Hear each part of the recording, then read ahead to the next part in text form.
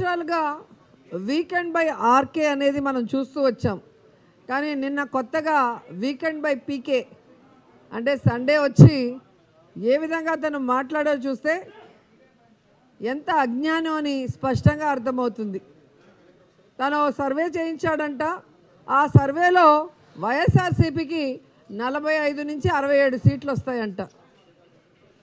ఆ సర్వేలో ఈయన గెలుస్తాడో లేదో చేశారో లేదో నాకు అర్థం కావట్లేదు. నిజంగా పవన్ కళ్యాణ్ లాస్ట్ ఇదే సర్వే వాళ్ళు కదా. నువ్వు గాజువాకలో భీమవరంలో గెలుస్తావంటే అక్కడ పోయి కంటెస్ట్ చేసి బొక్కబోర్ల పడ్డావు. మళ్ళీ ఆ సర్వేతో ఈరోజు మాకు నలభై ఐదు సీట్లు వస్తాయని నువ్వు చెప్తుంటే రాష్ట్రంలో ఉన్న ప్రజలందరూ కూడా నవ్వుకుంటున్నారు. ఎందుకంటే నువ్వు అనుకున్నట్టుగా మాకు నలభై ఐదు సీట్లు వస్తే మరి నూట ముప్పై సీట్లు నీకే వస్తాయా? కనీసం నువ్వు ఎమ్మెల్యేగా గెలవలేనోడు ఈరోజు నువ్వు జాతకం చెప్తుంటే నవ్వు వస్తుంది. ఎందుకంటే ఇదే సర్వేయర్లు నమ్ముకొని నువ్వు గతంలో ఏం మాట్లాడావు? జగన్మోహన్ రెడ్డి గారు సీఎం కాడు కాలేడు. ఇది నా శాసనం శాసనం అన్నావు. శాసనం అన్నవాడిని శాసన సభలోకి కూడా రానికుండా చేసిన విషయం మర్చిపోయావా అని అడుగుతున్నాను. మళ్ళీ ఇంకో విషయం మాట్లాడాడు. వైఎస్ఆర్సీపీని దించి అసెంబ్లీ మీద జనసేన జెండాను ఎగరేస్తాడంట. కనీసం నూట డెబ్బై ఐదు కాన్స్టిట్యున్సీల్లో ఎమ్మెల్యేలుగా జనసేనకి క్యాండిడేట్లు కూడా లేరు. ఈయన అసెంబ్లీ పైన నూట అసెంబ్లీ పైన జనసేన జెండా ఎగరేస్తాడంట. ఫస్ట్ కౌన్సిలర్లుగా గెలవండి. తర్వాత ఎంపీటీసీలు సర్పంచ్లు గెలవండి. ఆ తర్వాత ఎమ్మెల్యేల విషయం ఆలోచిద్దామని మీకు సలహా ఇస్తున్నా.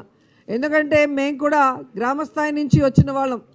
ఈరోజు గ్రామాల్లో చిన్న చిన్న పిల్లలు ఎవరైతే ఈ సినిమా పిచ్చి ఉంటుందో వాళ్ళు నీ మీటింగ్లకు వచ్చారని రెచ్చిపోయి సీఎం అని కలలు కానీ నువ్వు ఏ విధంగా బొక్క బోర్లా పడ్డావో? ఈరోజు రాష్ట్ర ప్రజలందరూ కూడా గమనిస్తున్నారు. ఈరోజు సినిమా ఇండస్ట్రీలో ఉన్న హీరోలంతా సిగ్గుపడుతున్నారు నిన్ను తెలుగు ఇండస్ట్రీ హీరో అని చెప్పుకోవడానికి. ఎందుకంటే ఇండస్ట్రీ నుంచి వచ్చి ఎన్టీఆర్ గారు పార్టీ పెట్టారు. దమ్మున్న మొనగాడిలాగా సింగిల్గా పోటీ చేశాడు. చిరంజీవి గారు పార్టీ పెట్టారు ప్రజారాజ్యం పార్టీ. సింగిల్గా పోటీ చేశారు. కానీ అదే రక్తం పంచుకొని పుట్టిన నువ్వు మాత్రం పార్టీ పెట్టవే కానీ రెండు వేల పద్నాలుగులో ఎన్నికలకు వెళ్ళావా?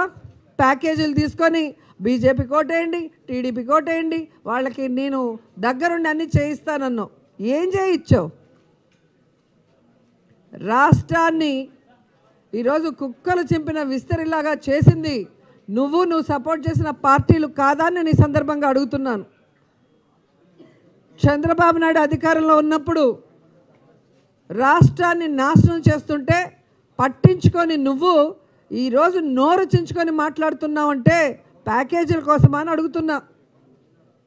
జగన్మోహన్ రెడ్డి గారంట కేసీఆర్ గారితో లంచ్లో కూర్చొని భోంచేస్తూ ఈ రాష్ట్రానికి రావాల్సిన అన్నిటినీ కూడా వదిలేసుకున్నాడంట. నేను అడుగుతున్నాను ఉమ్మడి రాజధాని ఉంటే పనికి మాలిన పని ఓటుకు నోటు అనే కేసులో ఇరుక్కొని హైదరాబాద్ వదిలేసి పారిపోయి దొంగలాగా వచ్చి కరకట్లో దాక్కున్న చంద్రబాబు నాయుడిని ఆ రోజు ఎందుకు ప్రశ్నించలేదు అని అడుగుతున్నాను. ఆ రోజు కేంద్రంతో జతగట్టి ఎన్నికలకు వెళ్ళినప్పుడు బీజేపీ తప్పు చేసినా చంద్రబాబు నాయుడు తప్పు చేసినా నేను ప్రశ్నిస్తానన్న నువ్వు ఎందుకు విభజన చట్టంలో ఉన్న మన ఆస్తులు రాకుంటే మాట్లాడలేదు అని అడుగుతున్నాను. ఆ రోజు షూటింగ్లో ఉన్నావా? లేకపోతే సూట్ కేసులు తీసుకుంటున్నావా? ఎందుకు మాట్లాడలేదు?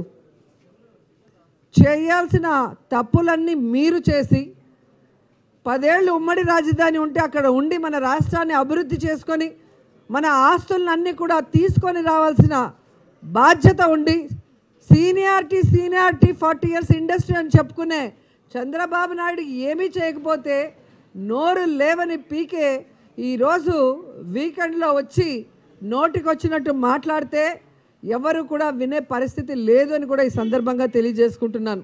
అండ్ సూటిగా పవన్ కళ్యాణ్కి ఛాలెంజ్ చేస్తున్నాను. నువ్వు చేసిన సర్వే మీద నీకు నమ్మకం ఉంటే అసెంబ్లీ పైన జనసేన జెండా ఎగరేస్తానని మాటలు చెప్పడం కాదు. నీ జెండా మీద నీ అజెండా మీద నీకు నమ్మకం ఉంటే నూట డెబ్బై ఐదు స్థానాల్లో నువ్వు క్యాండిడేట్లను పెట్టగలనన్న నమ్మకం ఉంటే నీకు దమ్ముంటే ధైర్యం ఉంటే సింగిల్గా పోటీ చేయి జగనన్నతో. ఊరికే ప్యాకేజెస్ కోసం పనిచేస్తూ పిచ్చి మాటలు మాట్లాడుతున్నావు. నిన్న మళ్ళీ అర్థమైంది కదా. బస్ యాత్ర చేస్తానని నువ్వు పాదయాత్ర చేస్తానని లోకేష్ డేట్లు అనౌన్స్ చేసి ఈరోజు లోకేష్ పోస్ట్ పోన్ చేయగానే నువ్వు పోస్ట్ పోన్ చేసావు అంటే మీ మధ్య ఫ్రెండ్షిప్ ఎంత స్ట్రాంగ్గా ఉంది? ఏ విధంగా మీరు దొంగ రాజకీయాలు చేస్తున్నారు అనేది అర్థమవుతుంది.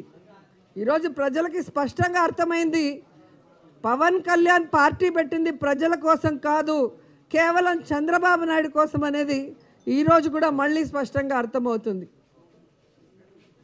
సో ఇకనైనా పవన్ కళ్యాణ్ సినిమాలో డైలాగులు బయట చెప్పడం కాదు. జగన్మోహన్ రెడ్డి గారు ఈరోజు చిన్నవాడైనా ప్రజల్లోకి వెళ్ళి తానేం చేస్తాడు ప్రజల సమస్యల్ని ఏ విధంగా దూరం చేస్తాను అని నమ్మకాన్ని కలిగించారు. వాళ్ళకి నవరత్నాలు ద్వారా ప్రామిస్ చేశారు. ఈరోజు ప్రజల ఆశీస్సులతో తిరుగులేని ముఖ్యమంత్రిగా ఈరోజు కూర్చున్న రోజు నుంచి తానిచ్చిన ప్రతి వాగ్దానాన్ని నెరవేరుస్తూ ముందుకు వెళ్తున్నాడు.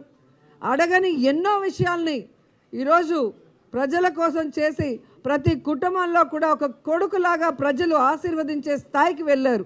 అది చూసి సహించలేక గుంపులు గుంపులుగా పందులన్నీ ఒక చోట చేరి ఏదో చేసేస్తాం జగన్ గారిని ఓడిస్తాం అంటే ఓడించడానికి ఆంధ్రప్రదేశ్ మీ గడ్డ కాదు. ఇది జగన్మోహన్ రెడ్డి గారి అడ్డ.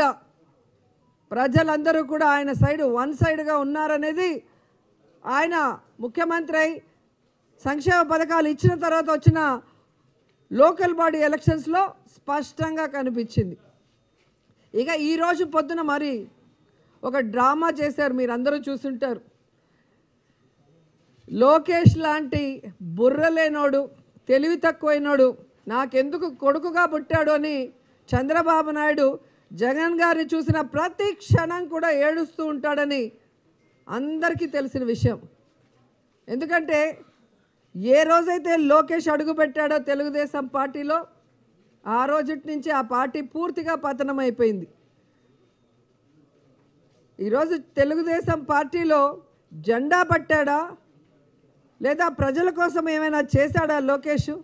ఎందుకు అతనికి ఎమ్మెల్సీని చేసి మంత్రిని చేశారో ఈ రాష్ట్ర ప్రజలకు అర్థమైంది.